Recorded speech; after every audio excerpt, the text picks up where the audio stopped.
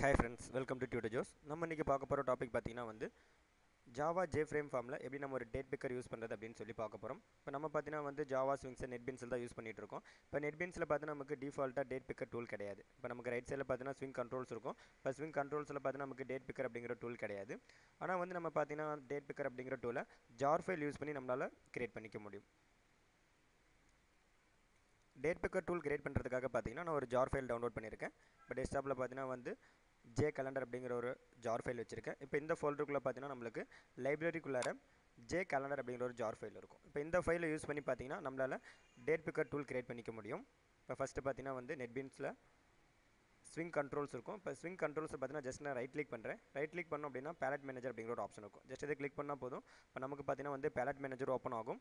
இப்போ இந்த பேலட் மேனேஜரில் பார்த்தீங்கன்னா நம்மளுக்கு ஆட் ஃப்ரம் ஜார் அப்படிங்கிற ஒரு ஆப்ஷன் இருக்கும். ஜஸ்ட் இது கொடுத்தா போதும். இப்போ நம்ம பார்த்தீங்கன்னா வந்து ஜார் ஃபைலை ப்ரௌஸ் பண்ணி இன்க்ளூட் பண்ணிக்கலாம்.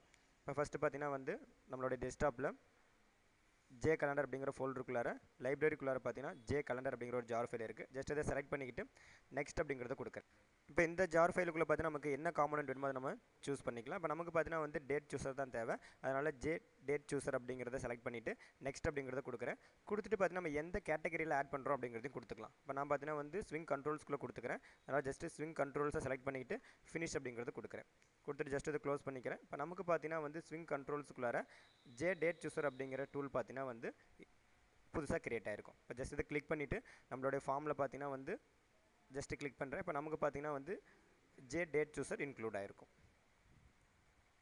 இப்போ ஜஸ்ட் இந்த ஃபார்மை சேவ் பண்ணிட்டு ரன் பண்ணுறேன் ஷிஃப்ட் எஃப்சிஸ் கொடுத்தா போதும். இப்போ ஃபார்ம் பார்த்தீங்கன்னா நமக்கு ரன் ஆகிடும் இப்போ நம்மளுடைய ஃபார்மில் பார்த்தீங்கன்னா வந்து இந்த டெக்ஸ்ட் பாக்ஸ் ரைட் சைடில் ப்ரௌஸ் பட்டன் இருக்கும். ஜஸ்ட் இது கிளிக் பண்ணால் போதும். இப்போ நமக்கு பார்த்தீங்கன்னா வந்து கேலண்டர் ஓப்பன் ஆகும். இப்போ இந்த கேலண்டர்லேருந்து நமக்கு என்ன டேட் வருமோ நம்ம சூஸ் பண்ணிக்கலாம். ஜஸ்ட் நம்ம ஒரு டேட் சூஸ் பண்ணோம் அப்படின்னா அந்த டேட்டோடைய ஃபுல் ஃபார்மேட் பார்த்தீங்கன்னா நம்மளுடைய அந்த டெக்ஸ்ட் பாக்ஸில் டிஸ்பிளே ஆகும்.